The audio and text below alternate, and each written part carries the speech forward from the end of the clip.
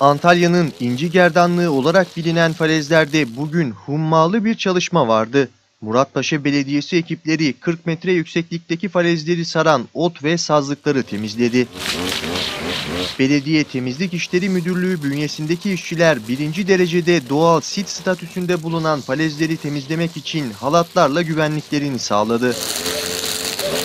Falez 2 Park'ta gerçekleştirilen temizlik çalışmasında özel donanımlı ekipler halatlar yardımıyla en zor yerlere inerek kış mevsimi boyunca büyüyen çalıları, sazlıkları temizledi. Yaklaşık 10 kilometrelik falez bandında ot temizliğinin tamamlanmasının ardından pet ve cam şişe ile ambalaj atıkları ve çöplerin de temizliği gerçekleştirildi.